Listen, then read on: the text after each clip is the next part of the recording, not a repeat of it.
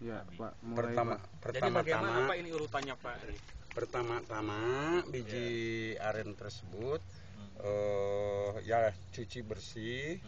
Setelah dicuci bersih, dijemur. Iya. Setelah dijemur, di bedeng tabur. Oh, gitu. Dari bareng dapur. Setelah bedeng tabur, kira-kira udah kelihatan tunas 10 cm atau 5 cm, baru dipindahkan ke polybag ini. Setelah iya. polybag ini, beberapa hari kemudian mungkin seminggu jadi ini. Tinggi gini. Oh, yang itu. Nah, kira-kira 15 hari 15 dari hari. mulai ini Hmm. bisa jadi begini. Ini jarak ber- berapa? 15 hari gitu. Ya Pak? 15 hari dari bedeng tabur Dari sudah tabur. dipindahkan ke polybag. Hmm. Setelah itu gimana Pak? Nah ini umur satu bulan dari itu Dari sini. Ini sebulan, ini sebulan. Dan aren jangan dipikirkan tingginya, tapi yang di, yang dibilang itu daun. daun. Ini baru daun satu, juga Oh. belum sempurna, Hmm, hmm, hmm. belum sempurna ini daun Iya. satu.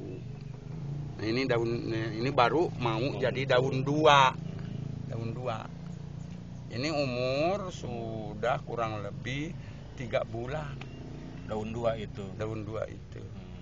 tiga bulan lebih. Bahkan kadang-kadang kalau memang kurang baik tata cara penyemaian, ini udah enam bulan. Aren bisa disalurkan dan bisa ditanam minimal umur satu tahun minimal. Maksimal dua tahun lah baru disalurkan. Bisa ditanam di bisa kebun, ditanam di hutan gitu, lapangan. Di lapangan. di lapangan. Itu Kalau jarak penanamannya Pak?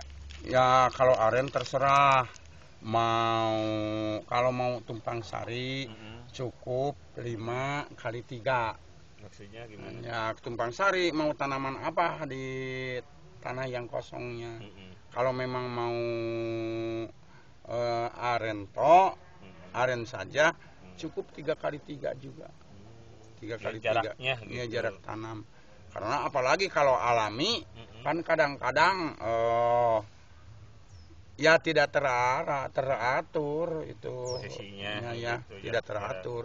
Kalau budidaya kita itu dalam sistem penanaman memang harus teratur Mm-mm. karena memerlukan pemupukan. Oh, kalau memang alami tidak dipupuk bahkan 35 tahun baru bisa disadap. Berarti kalau dipupuk mah ini gimana? ah kurang lebih ya 15 tahun kalau memang pemupukannya bagus kadang-kadang ada yang 10 tahun kurang sudah bisa diambil ininya eh, hasilnya Iya. yang dihasilkan oleh aren itu banyak pertama ini eh, injuknya itu Injuknya. ya untuk keperluan apa saja banyak kayak gitu. Iya.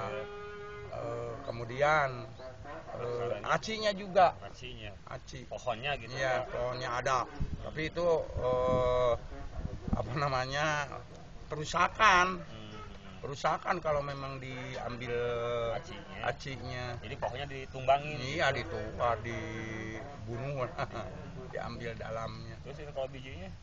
ya bijinya bisa dibikin kulang kaleng tuh Oh iya. Cangkaleng itu ya. cangkaleng cek bahasa Sunda mah cangkaleng malah kan cangkaleng itu oh, kalau bulan puasa mah mahal Jadi dari, dari pohon aren itu tidak ada yang mubazir gitu. tidak ada yang membadi Dari mulai akar sampai daun-daunnya saja daunnya saja kalau zaman dulu mah kan orang merokok itu sama daun daun kawung. daun kawung Kalau ininya apa ya? itu Nyereknya itunya. nyere untuk sapu sapu lidi Oh, sapu lidi.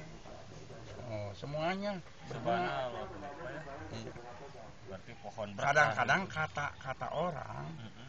Akarnya juga bisa dipakai obat tradisional. Untuk penyakit. Ya untuk bisa pakai obat tradisional. Penyakit apa saja pak yang ya nggak tahu. Itu ahli obat mungkin. Yang lebih tahu. Cuman saya dengar dengar eh, akarnya pun bisa digunakan. Kat,